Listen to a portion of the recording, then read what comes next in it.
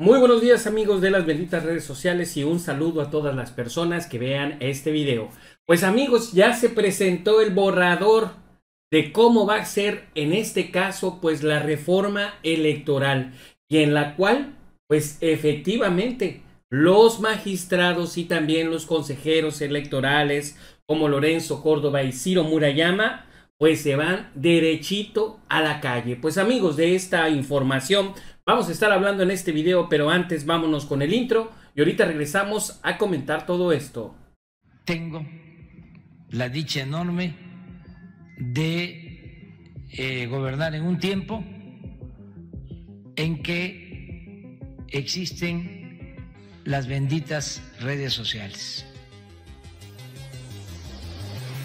¿Qué más le puedo pedir a la vida? Pues efectivamente, tal y como estamos viendo en pantalla, borrador de reforma electoral propone destitución de magistrados del Tribunal Electoral y consejeros también del INE.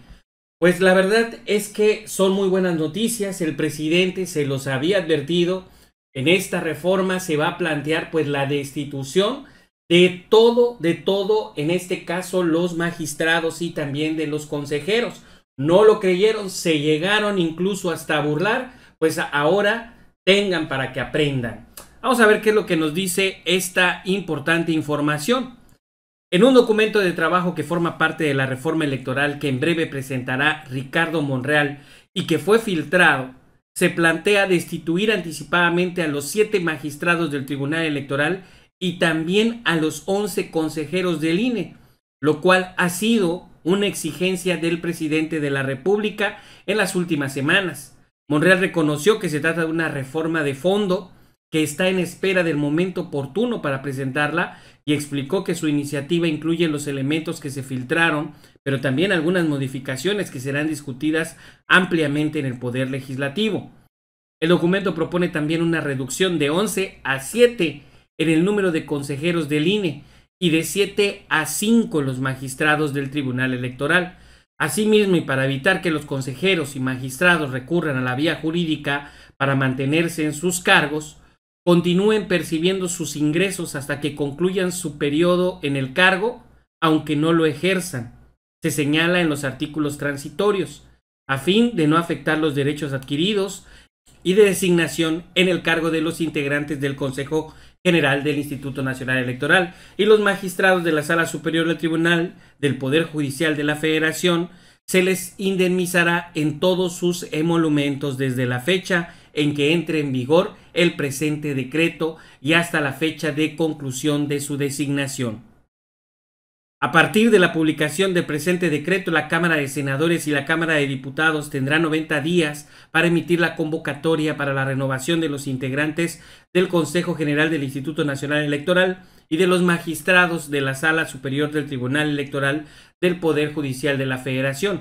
El presidente de la Junta de Coordinación Política expuso que en el INE absorbería las facultades de los 32 organismos públicos locales electorales. Además, el INE perdería también la facultad de fiscalizar a los partidos políticos nacionales y estatales, pues estos ahora se autofiscalizarían. Se prevé que la presidencia del INE sea trianual y rotatoria. Monreal Ávila plantea eliminar a las senadurías electas por representación proporcional es decir, pasaría de 128 escaños a solo 96. Reducir el número de diputaciones electas por representación proporcional. Por su parte, la Cámara Popular se compone por 500 diputaciones, 300 electas por mayoría relativa y 200 por representación proporcional. Se propone que por este último principio solo sean 100 para que en San Lázaro se conforme solo con 400 diputados federales. El documento de trabajo de reforma electoral también contempla establecer el voto electrónico y mantener como causales de nulidad en las elecciones el uso de recursos ilícitos, rebasar los topes de campaña y la contratación de tiempo en radio y de, también de televisión. Pues amigos, esto formaría parte del borrador que en este caso se filtró a los medios de comunicación, en los cuales pues el senador Ricardo Monreal pues señala que no era su intención dar a conocer todavía pues los detalles de toda esta reforma. La parte que al menos en lo personal me gustó más es donde evidentemente después de que los destituyan, pues los iban a liquidar y entonces, ahora sí, de patitas a la calle, Lorenzo Córdoba, Ciro Murayama, y ahora pues también vemos a estos magistrados del Tribunal Electoral que se quieren robar las elecciones de las gobernaturas ganadas por Morena. Bueno, voy a pasarles una parte del video en la cual hace alusión a todo esto que les estoy comentando, pues Ricardo Monreal. Estoy en las revisiones finales de un proyecto, de una iniciativa en materia de reforma constitucional en lo electoral. Se filtró indebidamente un proyecto incompleto. Si es parte del proyecto definitivo. Eh, le pedí a algunos expertos, especialistas en materia electoral, me dieran su opinión y cometí el error de mandárselos vía electrónica y seguramente alguien eh, lo filtró y lo envió a algún medio de comunicación. Pero no tengo, no tengo nada que ocultar, pronto la daré a conocer bien. Eh, es una reforma muy ambiciosa en materia política electoral, que va con capítulos importantes eh, con transitorios. Es una reforma de fondo que estoy esperando el momento oportuno para presentarla. La que se filtró es parte de este proyecto. Por eso lo digo con toda honestidad. Y estaba esperando comentarios de especialistas y expertos en la materia para que fuera lo más acabado posible. Es parte de eso. No me molesta que sea filtrado, pero en su momento vamos a presentarla íntegra. Bueno, pues ahí están las palabras de Ricardo Monreal, el cual menciona que pues había mandado esta información por medio electrónico y resulta que de buenas a primeras pues aparece dentro de los medios de comunicación. Miren amigos, también el día de ayer la verdad es que al menos ya podemos constatar que evidentemente el Tribunal Electoral, estos magistrados corruptazos, pues francamente tienen toda la intención de quitarle las gobernaturas a Morena. Se habla incluso la de Michoacán, se habla también de la de Campeche y la de Guerrero. La verdad es que los argumentos que al menos en esta ocasión presentan para ahora revisar casilla por casilla o contar voto por voto cada una de las, eh, pues ahora sí todos los distritos que componen o que compusieron en este caso, pues la votación electoral en el estado de Campeche, pues no tiene pies ni cabeza, porque para comenzar fue un reclamo que emite en este caso eh, Movimiento Ciudadano y luego él lo hace o Movimiento Ciudadano lo hace o pide, mejor dicho, solamente ocho distritos. El Tribunal Electoral se toma la facultad de incluso ampliar esta revisión y ahora serán los 21 distritos del estado de Campeche. A mí me suena más que nada a un fraude electoral. Un fraude en el cual tiene por objetivo, evidentemente, arrebatar el triunfo a Morena. Vemos como varios personajes de la política, evidentemente, pues molestos por todo esto que está sucediendo. Aquí vemos el tuit de Mario Delgado y que Laida Sansores lo había retuiteado, diciendo lo siguiente, sigue el Tribunal Electoral con su robadera. Ahora ponen en duda nuestro triunfo en Campeche y para dar certeza ordenan de manera ilegal un recuento total. Qué curioso que es el estado del presidente del PRI, Alejandro Moreno Cárdenas. No tienen vergüenza. Citlali Hernández, secretaria general de Morena, Dice, la sociedad que hay en el Tribunal Electoral es inadmisible. Lo que la oposición no logró en las urnas lo quiere arrebatar con sus magistrados aliados. No permitiremos que le arrebaten el triunfo al pueblo de Campeche con Laida Sansores.